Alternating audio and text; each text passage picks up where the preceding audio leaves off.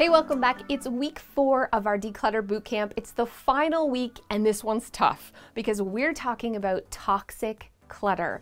Toxic clutter are things in your home that make you feel really bad about yourself.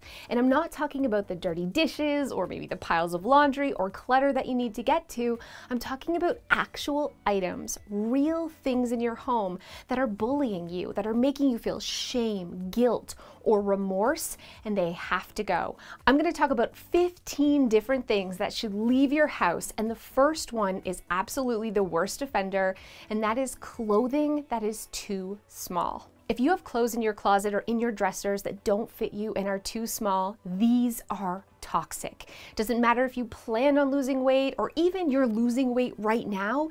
If you're opening up your closet and your clothing is telling you that you're too fat, you're not working hard enough, or that you don't look good, they have to go. Even if you pack them up and put them under your bed or somewhere else in your home to store, they shouldn't be in your bedroom.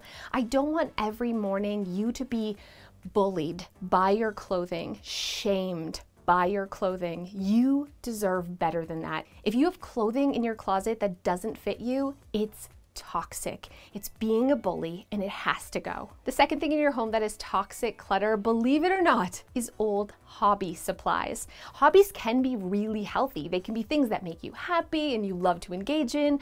But if you have the supplies for a hobby and the truth is you haven't worked on these hobbies in over a year, they're bullying you. They're toxic because every time you look at those supplies, you're thinking, I should be doing this. I wish I was that person. It's your fantasy self accosting you for not being the person you want to be.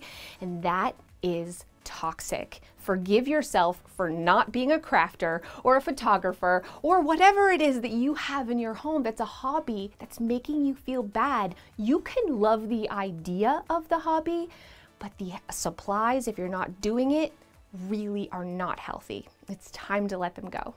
The third thing on our list is gifts from loved ones that you don't like. I always throw the mother-in-law under the bus, but maybe you got something from your mom or your grandmother for Christmas and you don't love it, but you feel guilt letting it go. So you're letting your home being filled up with all of these objects just because you're people pleasing. And every time you look at them, you think, it gives you this visceral response like, I don't like that. I wish I didn't have it in my home. You don't have to people please your stuff anymore. This is about standing up for yourself and saying, I deserve better. And I'm putting boundaries on my home and I'm saying goodbye to gifts that I don't love. Next on our list is also guilty toxic clutter, and that's family heirlooms. Maybe it's your grandmother's china or an antique that was passed down, but if you don't love it and you're only keeping it out of guilt, it's really toxic. This is your home and you should fill it with only the things that you love and cherish. And holding on to family heirlooms that you don't like isn't honoring anyone's memories. The best thing you can do to honor a memory is pass it on and also free up some space for the things in your home that you like. Item number five is expensive beauty products. The products that you don't use and that you don't like, but they're still in your bathroom. And you probably saw in week two that I really struggled with this. This was one of the number one things in my home that made me feel so much guilt and so much shame. Not only because it was expensive, but also because Beauty products can really make you insecure about yourself, especially if you bought them thinking they would fix a flaw and they didn't every time you look at those products, you're reminded about the money you wasted and the fact that you're insecure about part of yourself. And it didn't work. Stop the cycle. Stop feeling guilty and let go of those toxic products right now. Number six is workout equipment if you're not using it. The treadmill, the, I don't know, the elliptical machine, is that what it's called? All the things that we buy, the rowing machine, we buy these gadgets in order to get fit. And what happens is it's just something else to dust in our home. But even worse than that, every time we see it, we're reminded of our failure. We're reminded that we should be doing something and we're not. And it's not motivating us to actually work out. The only thing it's doing is making us feel like we're not good enough, we're not trying hard enough, and we're failing. And that's why these things are toxic. They're doing the opposite of what we think they're gonna do. They need to leave your home. Next on the list is food that you don't like. Maybe you purchase something at Costco in bulk, but you actually hate them. Dad's cookies are gross. I'm just saying, who else has a giant box? But you've probably purchased something and you have a lot of it and you're saving it just in case. Maybe there's a zombie apocalypse. But the truth is, every time you open your pantry, not only is it harder to find the food that you do like, but you're reminded of the mistake you made buying that food every single time. We are not going to have anything in in our home anymore that makes us feel bad about ourselves. It is not worth it. And that food, just let it go. Number eight is still food, but listen, it's specialty food. It's health food. How many of us buy protein powder with the intent of having protein shakes or protein bars or any of this health food that we don't actually like because or we're not using for whatever reason, but we hold on to it because it was expensive. And again, because our fantasy self is telling us we should be this person. If you're trying to be someone else and you're not living up to that, that's okay. You are perfect just the way you are, and I do not want anything in your home or in your pantry to be telling you anything different. Let the toxic protein powder go where it belongs, which is in the trash, my friends. If it's gross, throw it out. No regrets. Number nine on the list, my husband really struggles with, and this is electronic clutter. So every old computer, every cell phone, every tablet we've ever had, he has the intention of wiping them so that we can donate it as electronic waste. But it's been a hot second 10 years or so, and the stack just keeps getting bigger. And all of this clutter, he looks at it and I hear him saying, I gotta get to that, I gotta get to that, I gotta get to that. It's this constant reminder of a to do that nobody wants to do that's really making him feel bad about himself. It's time to just soak them in water or smash the card inside and forgive yourself and let it go. Just get them out of your house, donate them, take them to Best Buy, someplace to recycle them, and move on. Number 10 is really hard, and it's books that you don't read. And as a book lover, if you're a book lover, you love having your books, but even something you love can still be toxic if it's telling you negative things. So if you've purchased some books and you've never got around to read them, and the idea of reading them, you're like, I should read it because I bought it, but I don't actually want to, that's toxic anything in your home, even things you love, if when you look at them, they're giving you negative thoughts or making you feel bad about yourself in any way, it's time to donate it to someone else so they can feel bad about it. No, just just get it. Just I don't know, just get it out of your house. 11 is unfinished projects, and this really includes broken things. So maybe you started something a couple of months ago, a couple of years ago, and you never got around to finishing it.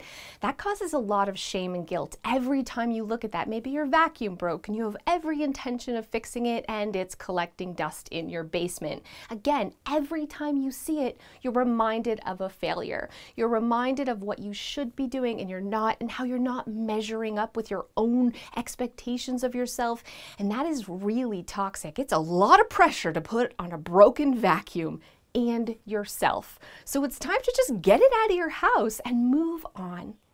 Number 12 is a combination of things you like, love, hate, okay? It's kids' artwork. You love your kids' artwork, but every time you see the giant pile of kids' artwork, you feel like, oh, I'm a bad parent, I should be filing this, I should be organizing this, I should be doing something with this.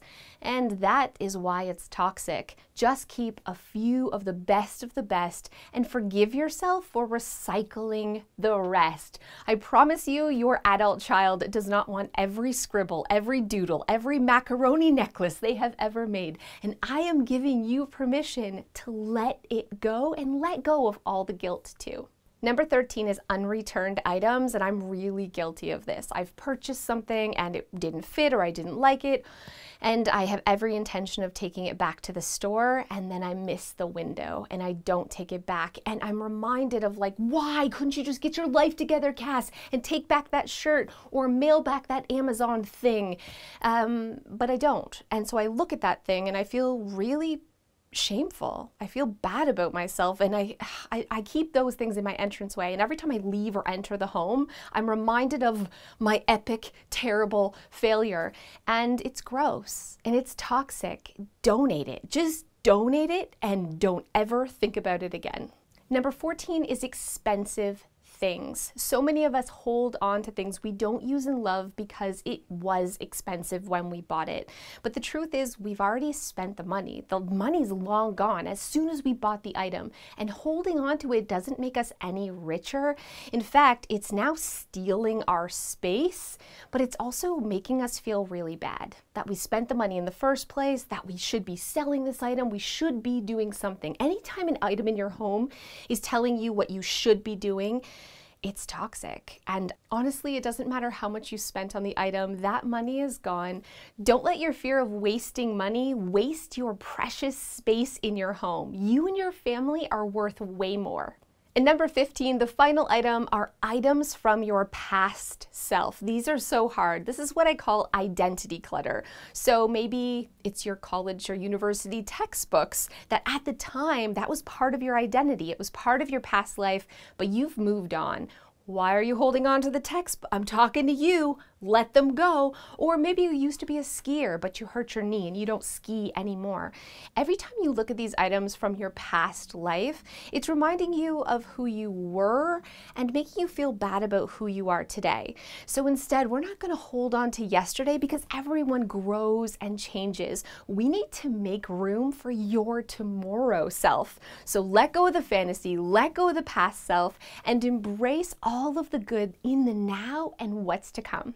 Identifying and removing toxic clutter in your home is so hard. This is the hardest thing to really tackle in your space. So if you've tried and struggled to let go, that's okay. Decluttering is like a muscle. You have to build it up. So just keep practicing. A little bit, a little something every day is going to add up to the confidence and the home that you're craving. Thank you so much for doing this four week boot camp with me. This was all about mindset, giving you a new perspective on decluttering and your stuff. I hope you're feeling really inspired and motivated to start flexing your decluttering muscles as you go through the rest of your home. And stay tuned in November. We have some tough love series coming where we get real about more stuff in your home. We'll see you then. Thank you guys so much for those of you who have stayed to the end. Some of you, you probably know I was the host of HGTV's Hot Mess House, and my co-host last year was Wendell. And I just wanted to talk about Wendell Holland for just like a hot sec, because I've been thinking about him a lot lately, and I miss him like crazy. But also, he was kind of a little bit toxic in that he made me feel bad about myself. No, he's he's not at all toxic. But Wendell Holland is the most wholesome, kindest, sweetest, perfect human being on the face of the earth, and it was gross, okay? We'd show up to set, and I'd have my Boston cream donut, cream on chocolate on my face, and my sugary cappuccino, and he'd have his green kale smoothie, and that was it. And he'd do push ups before set, and he like donates things to homeless shelters in his spare time and cooks everything from scratch from his girlfriend and he won Survivor, okay? He lived off of snails and bugs and did the challenges and won Survivor and is honestly the greatest human being I've ever met. And I don't know if you have someone in your life, like I have lots of people in my life who are awesome, but no one to the epic level of Wendell Holland, okay? Not only is does he own this successful furniture company, he can build and actually use tools unlike other carpenters I've worked with on television sets in the past. He can actually do it. Um, he's sweet and kind and handsome, but also he's a lawyer, you guys. He's brilliant too. So I'm just Every time I talk about Wendell, Joe's like, oh, Wendell. He's a little jelly. But the truth is, he's just such a kind, awesome person, and I miss him like crazy, but also he kind of made me feel a little bit bad about myself because even though he's a lot younger, he was adulting so hard. He was like, he was just doing life right. Let me know in the comments below if you have a friend or family member that just seems to have their stuff together, like in an epically annoying way. I'll see you guys next time.